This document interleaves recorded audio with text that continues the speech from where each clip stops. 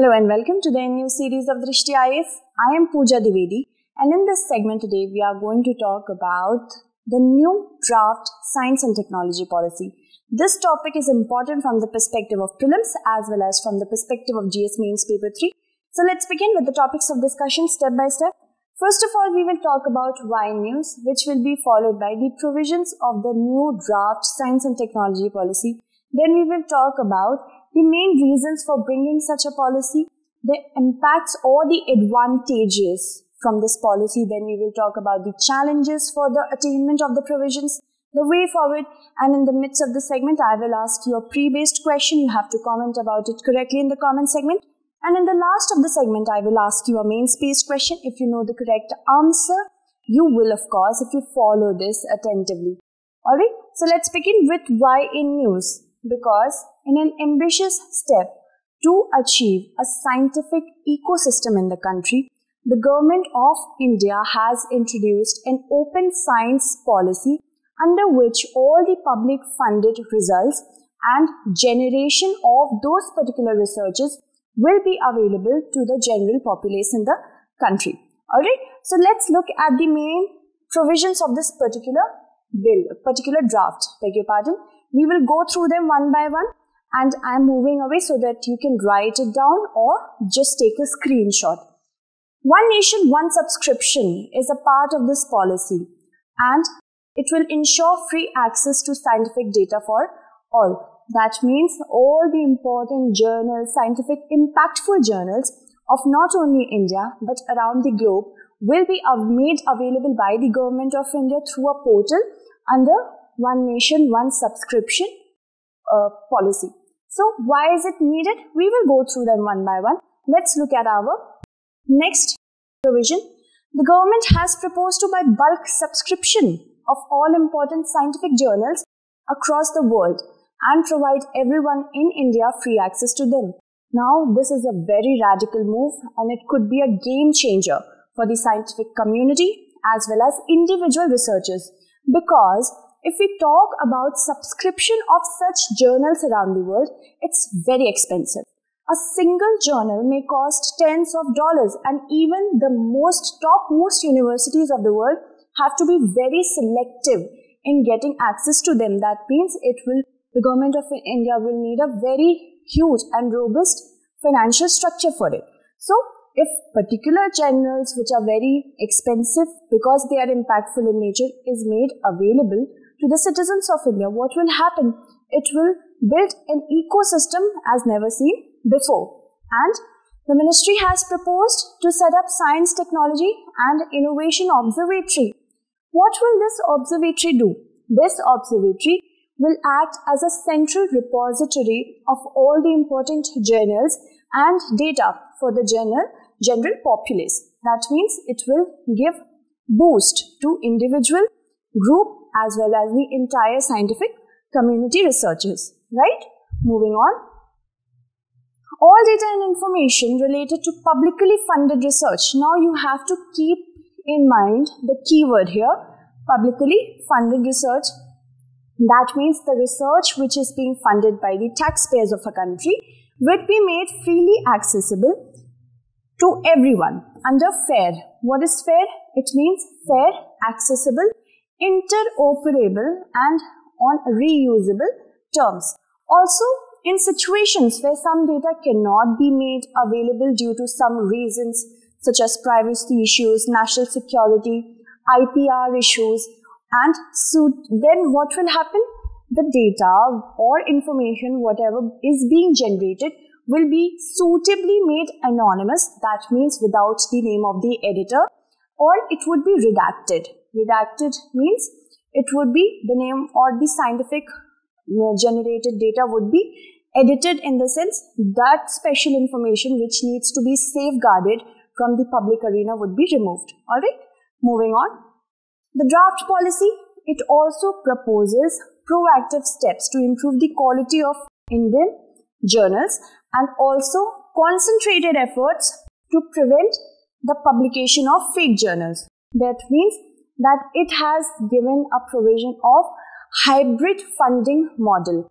Hybrid funding model will give boost to proper research and development, proper funding for research and development, and it will counter the infodemic that is being created by fake journals. Further, libraries of all publicly funded institutions are proposed to be made accessible to the general public, subject only to reasonable security protocols. Of course, it is not absolute in nature.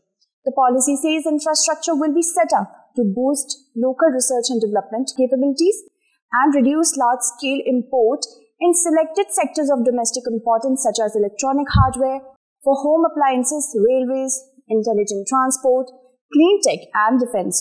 Now, this is also a very huge step towards making India independent and an Atmanirbhar Bharat because it is striving to achieve less and less imports in these given particular segments. Alright, also, if we talk about it more, initiatives like building a robust semiconductor ecosystem will strengthen India's position in the strategic sectors and also there are some other provisions under this particular policy.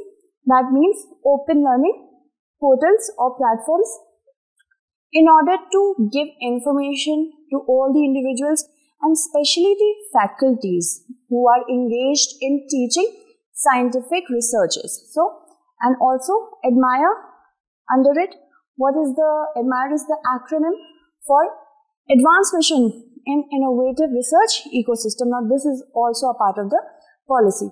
Also, strategic technology board is going to be developed and under it, all the strategically important uh, researches will be taking place with the help of the strategic technology development fund. Here will be the fund and here will be the board. It will work in tandem to make India strategically advantageous. Alright and also Indian Science and Technology Archives of Research portal. It will contain all the data which has been generated through publicly funded research. Now, if we talk about the main reasons, what were the reasons for such a policy? First reason is scientific knowledge should be made accessible to all. Now, here you can have a prelims based question. Please comment about it correctly. In our constitution, there is an article which deals with encouraging scientific temperament in the country. Can you please tell me the article in the comment segment? Thank you. Moving on. Also, upgradation was needed in the previous policy. The Science, Technology and Innovation Policy of 2013. There were some disadvantages related to this particular policy because it did not take into consideration traditional knowledge system and it was following a one size fits all policy that means whatever approach is going to be applicable to the software industry.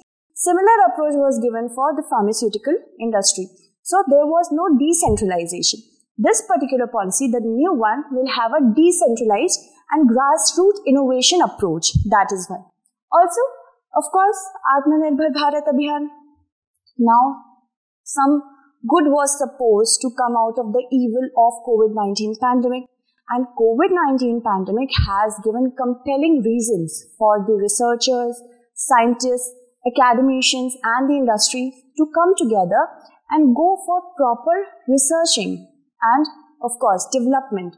So Atmanirbhar Bharat, if we talk about, it gives boost to the indigenous technologies and also indigenization of technologies. Alright, so this is also an expected impact of this policy. Also, it will stimulate the ecosystem of scientific research and innovation. Of course, if knowledge is made accessible to most of the people of our country, in fact, to all the people of our country, what will happen? they will start also to take into consideration that yes, we can also have proper data in order to continue our, with our independent or group research. And when once that happens, what will happen? Our country will start having a scientific temperament and start thinking out of the box. And also quid pro quo for taxpayers. That means publicly funded research is they take place with the help of the taxpayers' money and taxpayers are paying for that particular information or result is not fair. So that is why this particular policy is also giving a quid pro quo. That means whatever the taxpayers are investing, they are getting it back, right? Moving on, let's talk about the advantages, the challenges, beg your pardon. The challenges and if we talk about the first challenge will be financial challenge. Financial challenge in the sense if the government has to achieve or subscribe to approximately 3000 to 4000 magazines or journals of around the world in the country. What will happen? The government has to give about 2000 crore to 3000 crore of money every year for subscribing them in bulk. So it's a huge, huge financial challenge. Then comes infrastructural challenges. If we talk about infrastructural challenges, how will the government provide such a huge digital infrastructure? Not only scientific encouragement should not only be given in urban areas but also rural areas for which digital penetration is required. So how will the government in order to make this particular policy advantageous for the country as a whole, how will the government manage to penetrate digitally in the rural areas? Then policy setbacks. Policy setbacks in the sense that the government has not made a robust policy in order to coordinate between different sectors to for this research and development accessibility. That is also a problem and new framework for proper coordination. For that, the government has to invite researchers, academicians, industry, scientists, everybody in order to go for a proper coordination of policy in order to that no sector of our or no segment of our country is uh, unhappy with any kind of policy. Alright? Intellectual property rights, that is another issue. If some person is dedicating 10, 20, 30 years for some research and if proper data protection policy is not there, then it will strike at the core of IPR and privacy issues as well. So these are the challenges. And if we talk about the advantages, advantages, first advantage is that of this particular policy is that knowledge accessibility. Now this will increase scientific temperament as well as research in the country. So, if this particular policy wants to be successful, then what will happen? It will need to be inculcated since the very beginning. The policy needs to be taken into account from the school level because it has to challenge the concept of rote learning in our country. In our country, rote learning is given preference over actually getting knowledge, right? So, whenever the children are going for an exam, they will rote learn. That means they will try to mug up things, but it's actually not at all fruitful. So, scientific temperament can only be increased when knowledge will be made accessible from the grassroots level. That means in the school level, from the school level. So, it will challenge rote learning in the education system and make a child's mind more elastic and open-minded for information. And it will also increase research, investment, private investments in research and development. Once knowledge is accessible to most of the citizens, they will ask for public, for funding of their research. Then private institutions can fill the gap where the government is unable to reach. And then enhance knowledge base. Of course, this is a conclusion. This is a result. It will enhance knowledge base. The knowledge pool will get, get widened. Also, it will boost the startup ecosystem and collaboration between different startups because knowledge is knowledge and innovation. It goes hand in hand. And also, at the end of the day, eventually it will benefit the entire society as a whole, right? Moving on, let's talk about the way forward. First, the way forward that we are going to discuss is that academicians, scientists and private stakeholders and the entire industry which works on knowledge data should come together and talk about all the important provisions of our policy. And then it will also be needed by the government to encourage private investments. The government gives only 0.7% of its GDP to research and development. So whatever gap is needed to be fulfilled with the help of private investments. And private investments can be given incentives such as tax incentives or subsidies as well. Collaborations should also be given incentives in order to enhance more and more collaboration. The government needs to actually have a sub policy within the policy. This will be very fruitful.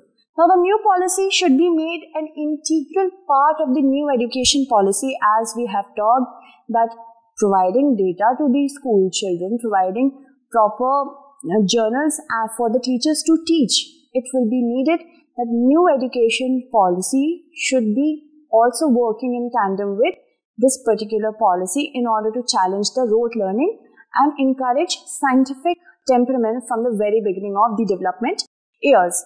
And financing should be also encouraged through proper funding mechanism, through proper fundraising because this is the biggest challenge that the government needs to take care of right now. So let's move on to our mains question now. The question says, evaluate the impacts of the draft science, technology and innovation policy on research and development. We have discussed it thoroughly. I hope you'll practice this question and I hope you found this segment informative. Tomorrow we shall meet again with another segment. Until then, stay updated and thank you so much for watching.